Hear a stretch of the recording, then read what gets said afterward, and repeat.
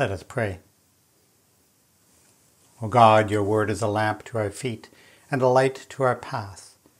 Give us grace to receive your truth in faith and in love. Amen. So, finally, at long last, this is the first Sunday in Lent. Lent is a time for many things. Lent is a time for spiritual renewal, for spiritual practices, for commitments, for new life.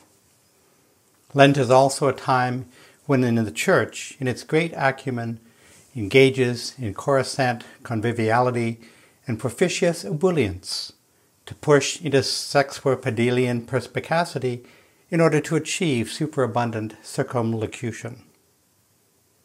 Whatever that means.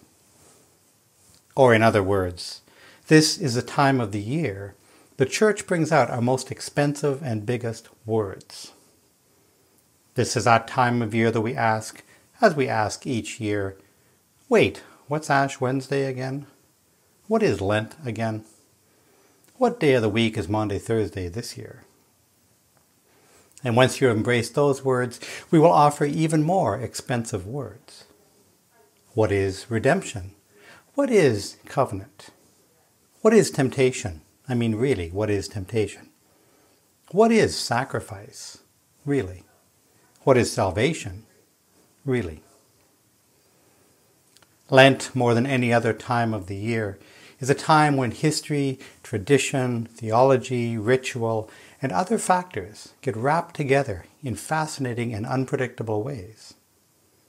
It's a good thing Lent lasts 46 days, so we have time to connect and reconnect, engage and re engage in what is an important part of the journey of faith. Lent is a good time to ask questions and to be open to new answers. Now, to be clear, I'm not critical of what I call expensive words. I just think we need to explore them and not just gloss over their meaning. You may recall our media went nuts a few years ago around the word temptation. They claimed that the Pope was proposing to change the Lord's Prayer. I know we talked about this a bit in August, but if you missed the story, the Pope was suggesting we change the English translation and to change it from lead us not into temptation to do not let us fall into temptation or do not let us enter into temptation. The pivotal issue was whether or not God would even lead us into temptation, or whether, in spite of God's graces, we sometimes enter into temptation ourselves. So, to be clear, the Pope was not trying to change the Lord's Prayer the prayer that the Catholic Church often refers to as simply the Our Father, or in Latin, Pater Noster. The Pope was only suggesting that the English translation could be improved. It was simply a problem with the English version that does not exist in many other languages. But the story is testament to the power of words, and I was actually very impressed that the media went crazy over this. Well, we'll come back to temptation in a little bit. But another expensive word for this week is covenant. In our reading from Genesis today, the word covenant was used seven times. And in all seven instances, I think the word was actually used incorrectly. Now, of course, covenant has various definitions, but I think in all definitions, covenant implies and requires relationship. Covenant requires connection. Covenant, covenant requires commitment from at least two parties. The covenant named in Genesis today is only a commitment from God to never commit genocide again using a flood. But where is the other half of that commitment? Where is the commitment from Noah? Or perhaps by extension from us? How do we fit into this story anyway? Some scholars think Noah's commitment is implicit, that perhaps because God slaughtered all the bad people, that Noah, and by extension we, we must be committed to being good people. Perhaps that's our commitment and our connection to the story. But for one thing, the story doesn't actually say that. And for another thing, well, how well did that plan work out in the story anyway? One way to look at that is to ask yourself how many generations, and according to the Genesis story, how many generations did it take before those good people that God had spared from the flood became not so good in the end? How long did it take, in other words, for community for humanity to go to hell in a handbasket again? If you're not sure the answer, you can count the generations on one hand. Actually, you can count the generations on one finger, because it only took one generation for evil to reemerge in society. In verse 9, God is making a covenant with all people, present and future, all of the environment actually, all of humanity. But by verse 25, Noah has already been raped by one of his sons and is condemning that son, Ham, and his descendants forever. Even worse, Noah is singling out one of his sons, Shem, for praise. And so, 16 verses after God declares all people to be God's children, Noah is segregating people and their descendants for all time back into good and evil. The situation at the end of the flood story was no better than the situation at the beginning of the flood story. In fact, the situation at the end of the flood story is no different than the situation at the beginning of the flood story. The flood and the genocide accomplished nothing. So I always wonder when I reflect on that if maybe the problem is that it would have worked better if the covenant had actually been a part of relationship. Because we, simple human beings that we are, need to actually be involved in our own redemption. Our redemption requires relationship. Otherwise, it might be like a good example, but think of all the Canadians you know that actually want reconciliation with Indigenous people, that don't realize that until all the parties are included around the table, you can't have reconciliation. That's a different sermon, though. But the point is, we need to be involved in our own redemption. It's not something that can be given from one side, even if it's God.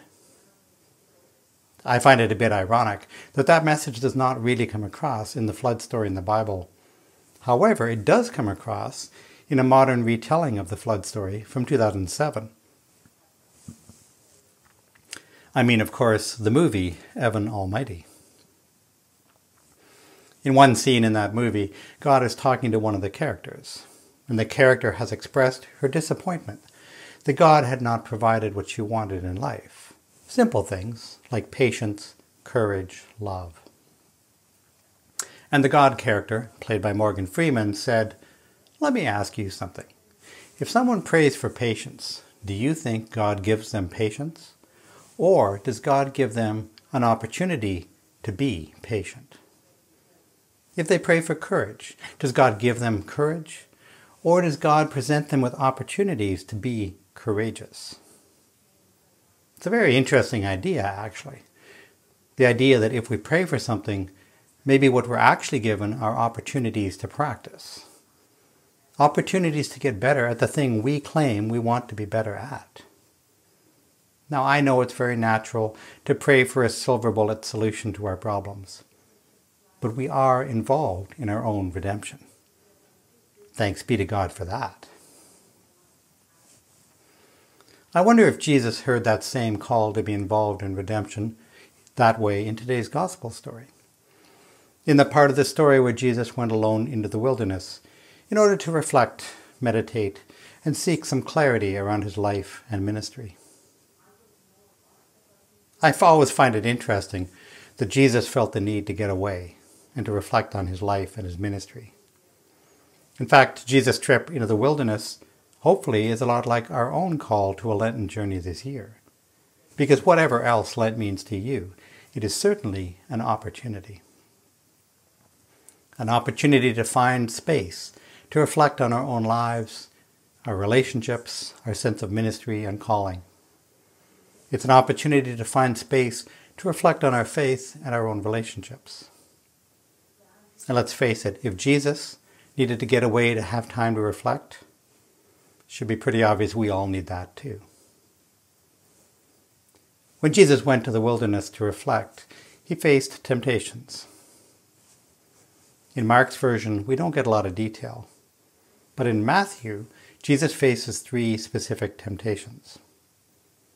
If you recall, the first temptation was to turn stones into bread.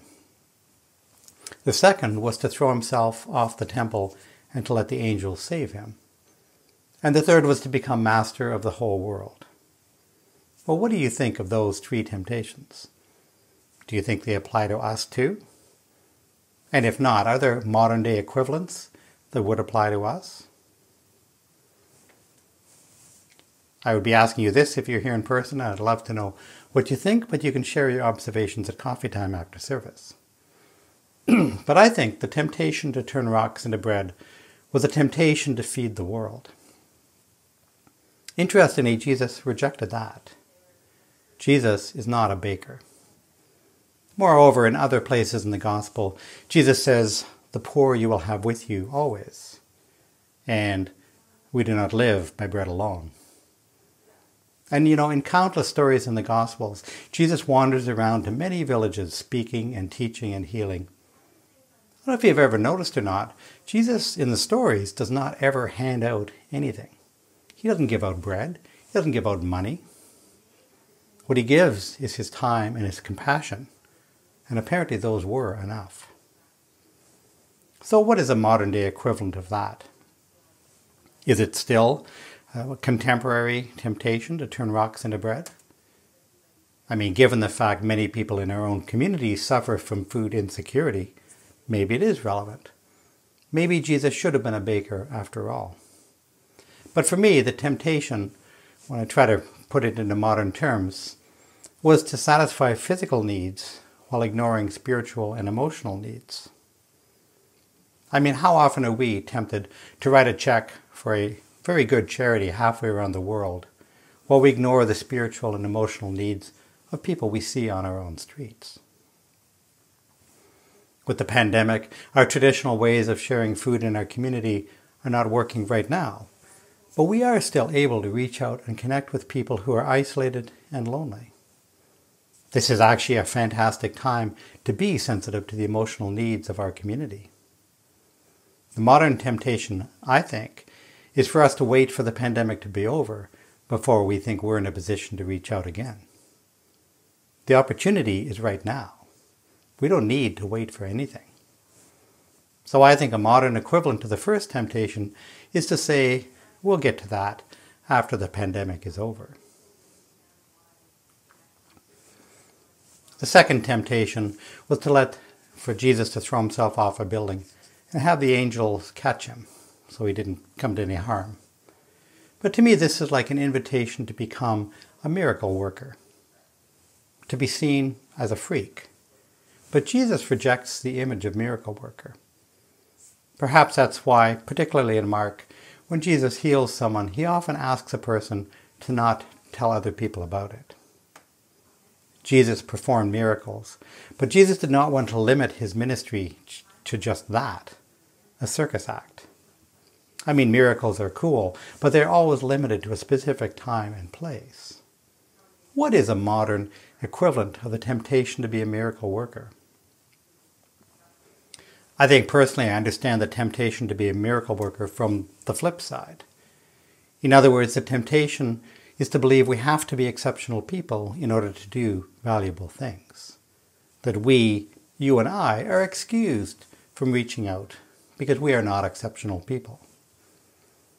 I think the temptation is to think we need to be miracle workers to make a difference to somebody else. But that's wrong. All of us, all of us have the capacity to reach out and help others. So I think a modern equivalent of the second temptation is to think we're not good enough, rich enough, powerful enough to make a difference. And so we do not even try. The third temptation to become the master of the world. I never know if that sounds tempting or not. But Jesus resists the image to be a powerful ruler. I mean, Jesus not only spends his ministry with the homeless and unemployed, Jesus spends his ministry as one who himself is homeless and unemployed. what today we perhaps would call a bum, seeming to have no interest at all in power in the conventional sense. It's almost as if Jesus has an image of ministry where he is not the center of attention. What is the modern equivalent of the temptation to acquire power? Well, I seriously doubt anyone listening to me today is somebody who actually amasses vast amounts of power and wealth. But how often are we pretend, tempted to pretend that we are in control of things? How often do we fail to, the, to listen to the wisdom of all people? You know, if you listen to other people carefully and you realize that all of us carry fear and pain within us, but at the same time that each of us carries our own deep wisdom, we can get further along. We are all in this together power and control are delusions anyway. So I think a modern equivalent of the third temptation is to think that we already have all the answers, and therefore we do not need to listen to other voices. So, what do you think of those three takes on modern temptations? I look forward to hearing from you at coffee time or at any time. But I think I think if we put Jesus' temptations into more modern terms, perhaps they apply to us after all. I wonder if we are willing, at least during Lent, to consider those temptations and how they might affect our own faith, ministry, and lives. Lent is a journey and an opportunity. Make time for it, embrace it, live into it. What is around the next corner on your faith journey? Well, perhaps by the end of Lent, you will see just a bit further around that corner. And I pray that we all do. Let's have a nice trip. And remember, we do not journey alone, we journey together. And I look forward to seeing you on the path. Amen.